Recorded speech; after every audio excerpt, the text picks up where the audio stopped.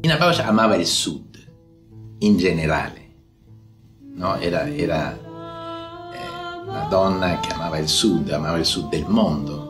Quando, quando siamo stati a Palermo, cioè, credo che se qualcuno le avesse proposto di fermarsi con la compagnia Palermo non avrebbe nessun, avuto nessun dubbio. A Roma Leyes Fascinata del Campo Rom.